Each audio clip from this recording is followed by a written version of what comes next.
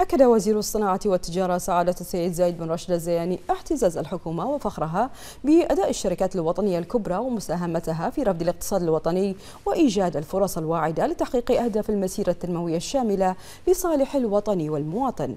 لافتا إلى استمرار دعم الحكومة ومساندتها الكبيرة لكافة الشركات والمؤسسات الوطنية بالأخص منها الشركات الضخمة ذات القيمة المضافة العالية على الاقتصاد الوطني.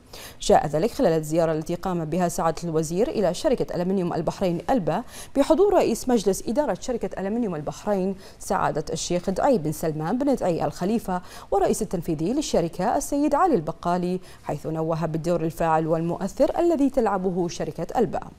وذلك في تطوير البنية التحتية للاقتصاد الوطني وتعزيز حركة النمو المتصاعد في هذا القطاع الهام والذي ترتكز عليه استراتيجيات الحكومة.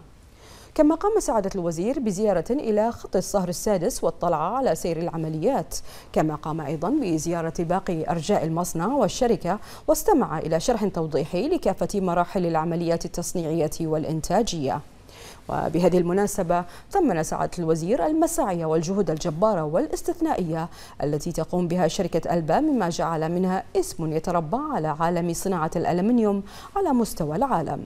وزيادة الطلب على نوعية الألمنيوم الذي يتم تنفيذه في البحرين ودخوله في العديد من الصناعات العالمية والعملاقة.